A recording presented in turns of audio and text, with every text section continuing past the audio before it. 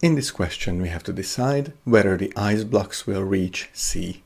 Since there is friction between A and B, there will be some energy dissipated while the blocks are traveling from A to B. Let's find this energy dissipated. To do so, we will combine these two equations from subtopics 2.2 and 2.3, where Fd is dynamic friction force, mu d is the coefficient of dynamic friction, r is the normal reaction force, w is work done, f is force, s is distance traveled, and theta is the angle between the direction of the force and the distance traveled. The energy dissipated between A and B is equal to the work done by the dynamic friction force. So in the next step, I will replace F in the second equation by mu dr.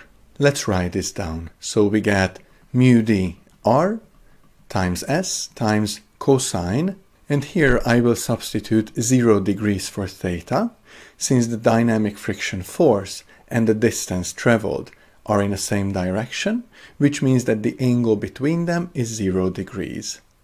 Since the blocks don't move vertically, the normal reaction force is equal to the weight of the block. This means that I can replace R by the weight, giving me mu d times the weight, so mg, multiplied by s. Since cosine 0 is equal to 1, I can just omit it from the equation. Let's substitute, so we get 0.03 times 55 multiplied by g, which is the gravitational acceleration and which can be found in the fundamental constant section of the data booklet and is 9.81, multiplied by 2.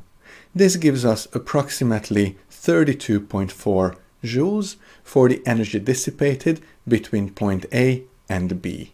Next, let's find EB, the energy of the block at B. This is equal to the energy at A, so EA, minus the energy dissipated, so EDIS. EA was given to be 670 joules in question part A1 minus EDIS, which is 32.4 joules. This is equal to 637.6 joules. So this is the kinetic energy of the block when it reaches point B.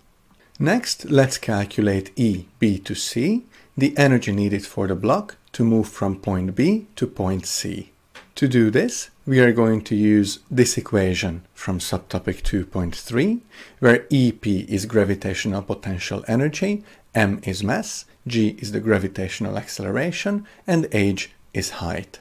Substituting, we get 55 times 9.81 multiplied by 1.2, which gives us approximately 647.5 joules. So this is the energy needed for the block to move from point B to point C. From our calculations, we can see that the energy needed to move from B to C, so 647.5, is larger than the energy that the block has at B, so 637.6. Based on this, we can conclude that the block will not reach C. In order to earn the two marks on this question, it is important to show your reasoning and conclude that the block will not reach C. Simply writing down that the block will not reach C will not earn any marks.